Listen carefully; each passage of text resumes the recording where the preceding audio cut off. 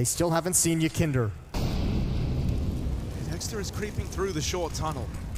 This is a bit scary because they don't know what's happening at short nor in the connector, but he somehow finds this gap. He finds this timing, and oh, YEKINDAR spotted Alish. moving up on a short. Dexter will get him, and it's an immediate trade, just a whirlwind of trades on the short side. A quarter of a second longer, and Elige would have been able to put a stop to that.